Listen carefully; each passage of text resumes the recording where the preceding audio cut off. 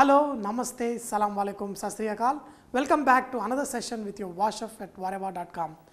Today we are going to make chinchi ka saar. In Marathi, chinchi means imli, tamarind. So we are going to make a kind of a soup using tamarind juice. You know, there is so similarity in the names also. See, once you go to south, especially in uh, Andhra, we also make something called charu. We call char, there they call it saar. This is uh, more like uh, rasam kind of thing from Maharashtra. In this, add oil and uh, we are going to add some tempering ingredients here, just mustard and cumin seeds. First add uh, mustard seeds.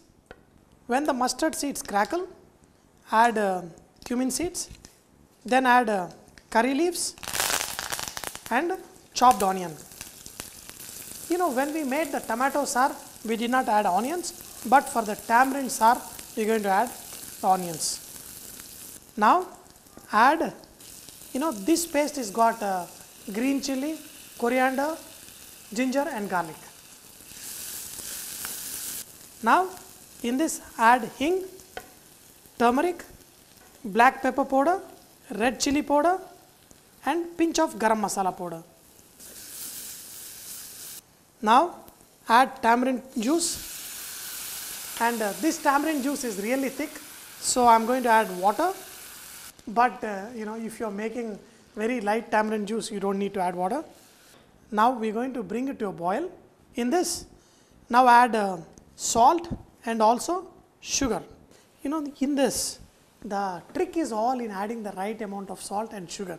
You know, taste it couple of times till you find it very flavorful and tasty.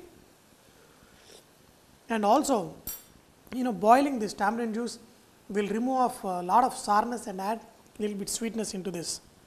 And this froth like thing will disappear when this saar is almost ready. When you season it right and when all the flavors are perfect, add little bit of uh, grated coconut into this.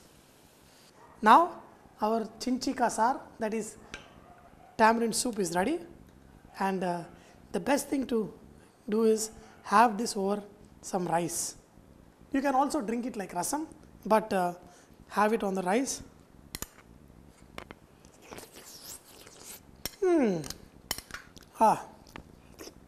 My son is here and he is laughing at the way I am eating. Katta mita, sweet saar. Wow. Ah. I hope you enjoyed this session of making chinchi ka saar with your Vahchef. But remember, Vahrehvah is all about inspiring others to cook. So please post your recipes and cooking tips at vahrehvah.com so others can benefit from your great cooking. Thank you.